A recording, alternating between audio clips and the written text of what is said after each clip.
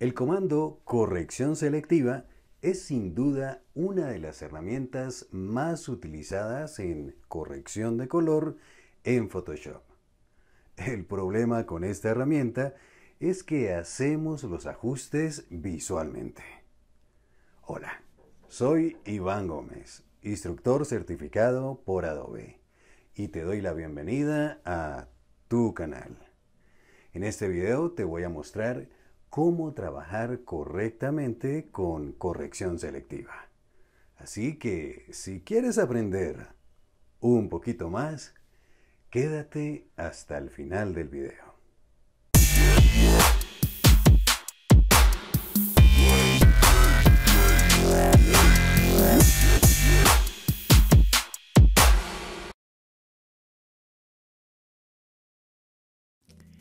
El principio de la corrección selectiva es añadir o restar componentes de color cian, magenta, amarillo o negro de colores específicos en una imagen.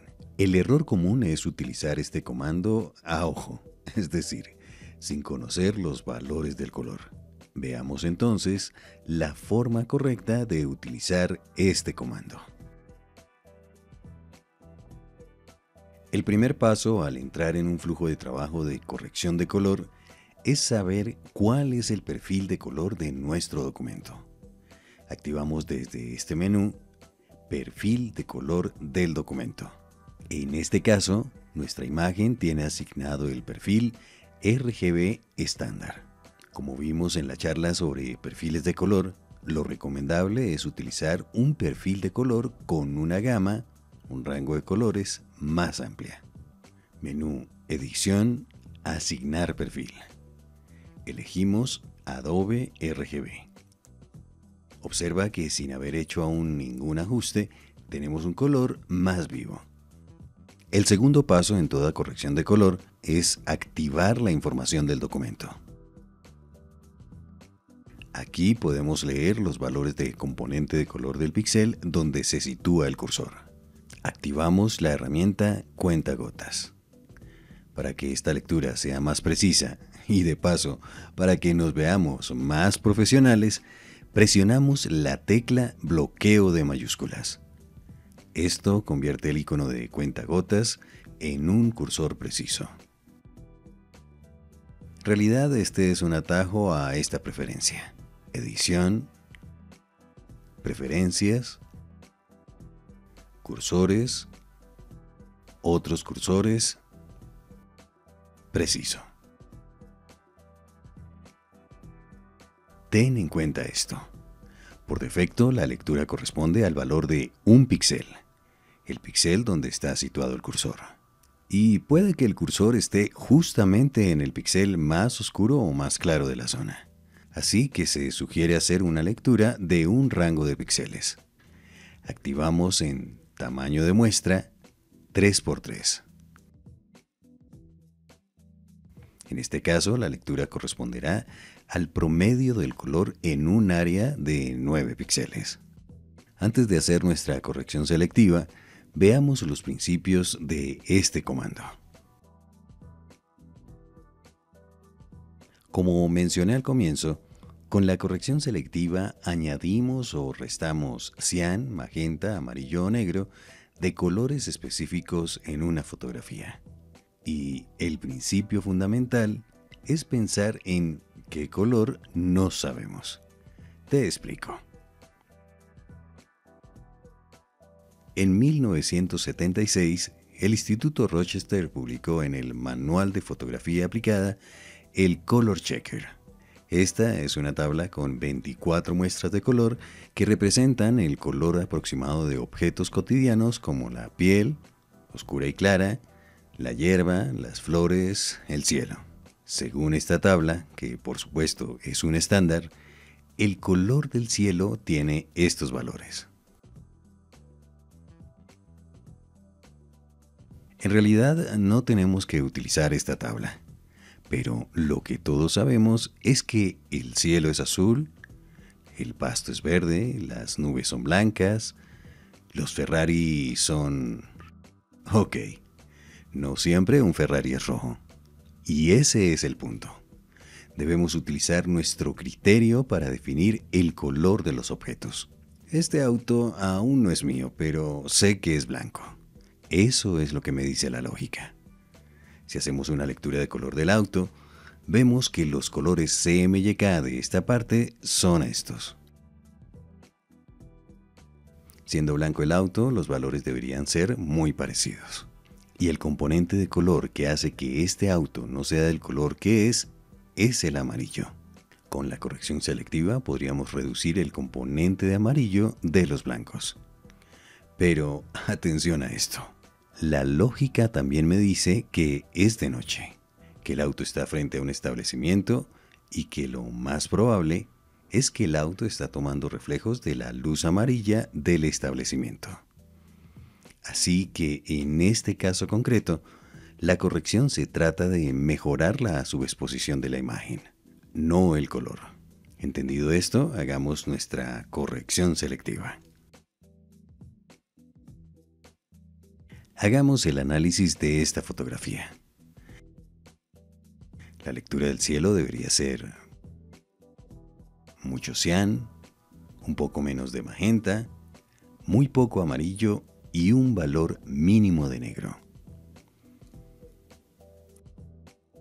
Situamos el cuentagotas en un área representativa del cielo. Presionamos la tecla mayúsculas y damos clic. Esto crea una nueva muestra de lectura de color. La lectura está en RGB. Lo que pocos saben es que este es un botón. Damos clic y seleccionamos CMYK. Nuestra lectura ahora será mucho más fácil. Apliquemos entonces nuestra lógica de color.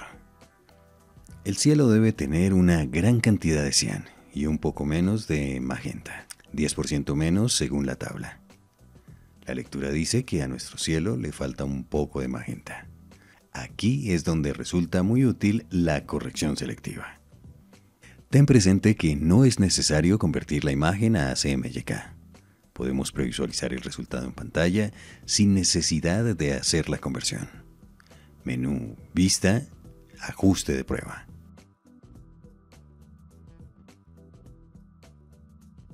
Desde el panel capas creamos una nueva capa de ajuste de corrección selectiva. El análisis es este. Necesitamos aumentar el porcentaje de magenta en los azules. Pero, ¿cómo sabemos que son azules y no cianes? Aquí una técnica. Activamos la capa a partir de la cual queremos hacer la lectura. Vamos a Imagen, Ajustes, Tono, Saturación. Activamos el selector y damos clic sobre el color. Vemos que el color seleccionado corresponde a los azules. Veamos a qué color corresponde este píxel.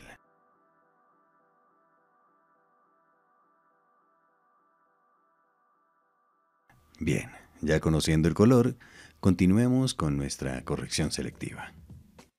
Necesitamos aumentar el porcentaje de magenta en los azules activamos azules y aumentamos el porcentaje de magenta. Este es el nuevo valor del color. Veamos otro ejemplo. Sabemos que los flamencos son rosados. Apliquemos la lógica del color a esta imagen. Creamos una nueva muestra de color en este punto. La lectura es RGB. Pasemos la lectura a CMYK. Para crear un color rosa con tintas, utilizaríamos una gran cantidad de magenta, un poco menos de amarillo y definitivamente muy poco cian y prácticamente nada de negro. Veamos de qué color estamos hablando.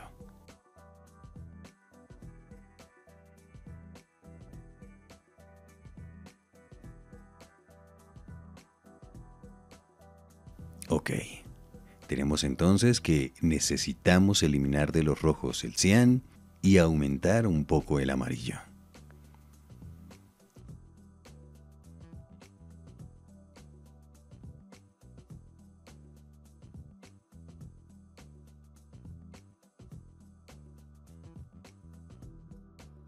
Pero eso no es todo. La corrección selectiva nos permite añadir o reducir el porcentaje de tintas de otros colores. Observa las plumas blancas. Hagamos una lectura de esta zona. Activamos la herramienta cuentagotas, presionamos mayúsculas y damos clic. Cambiamos la lectura del punto a CMYK. Apliquemos nuestra lógica de color. Un blanco es, pues, cero en todos los canales. Pero en este caso, los valores del blanco deberían ser muy parecidos en todos los canales. La lectura nos dice que en los blancos hay exceso de cian y además algo de negro, que es el color que hace que esta parte se vea algo sucia. Seleccionemos entonces blancos.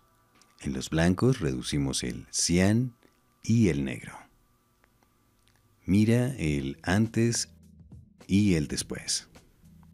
Quiero hacer la aclaración que un solo ajuste de color por lo general no basta y en la mayoría de casos es necesario hacer otros ajustes para añadir contraste, detalle y mejorar el color. La diferencia entre estos dos ajustes es muy simple. Relativo cambia la cantidad actual del color por un porcentaje del total.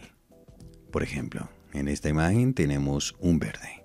El valor del cian en este color es del 50%. Si aumentamos un 10% de cian, se añadirá un 5% del valor total del color al cian. Absoluto ajusta el color total. En este caso, al aumentar el 10%, el nuevo valor es 60%. La verdad es que no hay que complicarse con las matemáticas. Las diferencias entre absoluto y relativo en la mayoría de los casos son muy sutiles, solo que absoluto produce efectos más drásticos. El título suena redundante. Vimos que no es necesario convertir a CMYK, pero toda regla tiene su excepción. Tenemos objetos negros contra fondo negro, lo que hace que se pierda el detalle. Aquí la corrección selectiva no funcionaría. Este sería el resultado. En este caso debemos convertir primero la imagen a CMYK. Convertida nuestra imagen, creamos una nueva capa de ajuste de corrección selectiva. El color es el negro. La lectura general es que el negro está presente en todos los canales debemos reducir la cantidad de cian, magenta y amarillo de los negros.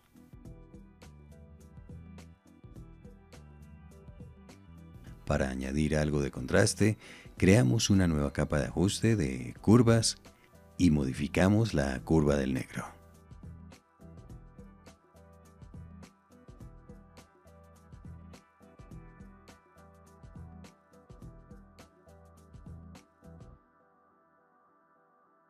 Bueno, eso es todo por hoy. Espero como siempre que encuentres aplicaciones prácticas para este comando.